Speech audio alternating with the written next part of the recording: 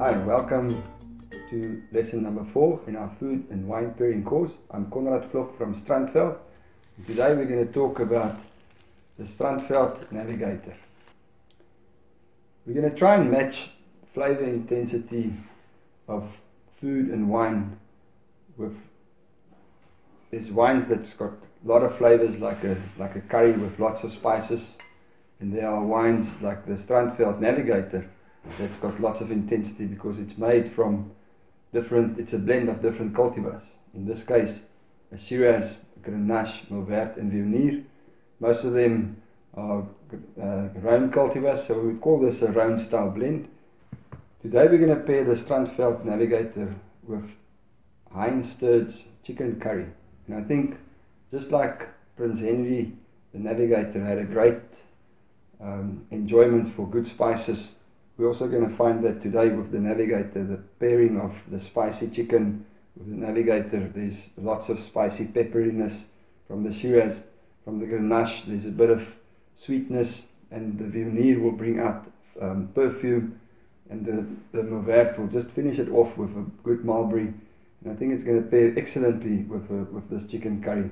So let's hand over to Hein and let him tell us more about his dish.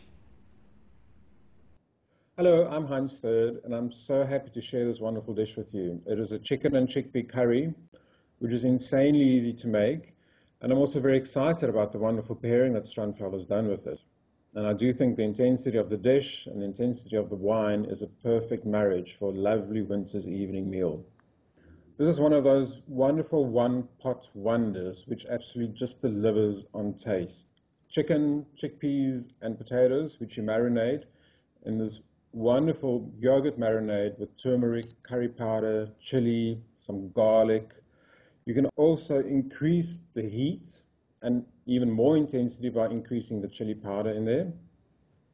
The nice thing is it goes onto a 24 hour marinade, it's in the fridge, from there it goes straight into the oven and within an hour you can serve it and wow your guests and friends alike.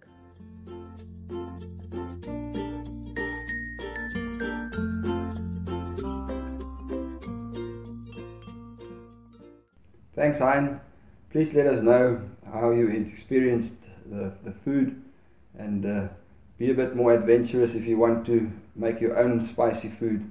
Not too, too much chili because the tannin might burn you, but uh, anything that is a mild spice will pair excellently. And just like Prince Henry had a great sense of discovery, go out there and discover this wine, pair it with a good food, and uh, let us know on Facebook what your experiences was.